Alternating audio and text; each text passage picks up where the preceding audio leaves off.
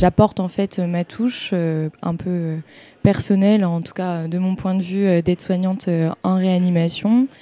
Je vois beaucoup de choses et, euh, j'essaye en fait de, sensibiliser euh, bah, les autres soignants. Euh, j'adore dessiner et notamment sur tablette, donc j'essaye de, créer des posters euh, pour expliquer un petit peu bah, les choses de la vie quotidienne en réanimation. Donc ça peut passer par bah, qu'est-ce qu'un saturomètre, qu'est-ce qu'un respirateur, les différents paramètres. et voilà. Donc tout un tas de, petites plaquettes euh, qui peuvent ensuite euh, bah, s'imprimer, se mettre dans les services et euh, rendre ça utile, en tout cas quand on se trouve en difficulté à expliquer aux familles. Qu'est-ce que c'est que ceci ou cela. J'aime bien aussi partager des petits moments du quotidien qu'on n'a pas l'habitude. Par exemple, récemment, on a fêté les 75 ans d'un patient. ça faisait 8 mois qu'il était chez nous. c'est aussi des rappeler que bah y a une vie en fait à l'extérieur et que le monde il continue de tourner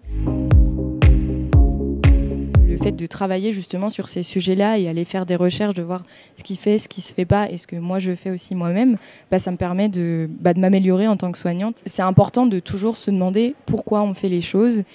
Et moi, bah, le fait de participer euh, au comité éditorial mais, et du coup à publier sur Second Life, ça m'a un peu obligée aussi à, me poser des questions, à vouloir m'améliorer euh, en tant que soignante et à, continuer là-dedans. Et c'est pour ça que par la suite, euh, grâce à ça et grâce à tout un autre tas de paramètres, j'ai décidé de reprendre mes études d'infirmière.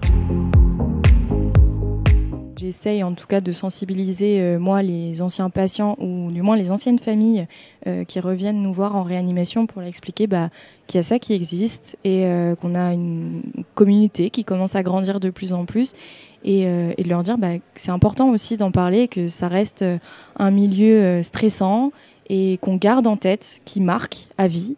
Euh, et ça me paraît important en tout cas de, pouvoir en discuter. C'est important qu'ils puissent voir en tout cas que bah, on est là, on est là à répondre à leurs questions, même des semaines, des années euh, plus tard, de leur expliquer en fait. Il faut toujours leur expliquer. En vrai, c'est ça la clé. C'est la communication et expliquer ce qu'on fait pour euh, qu'ils aient moins ce sentiment euh, d'abandon, on va dire.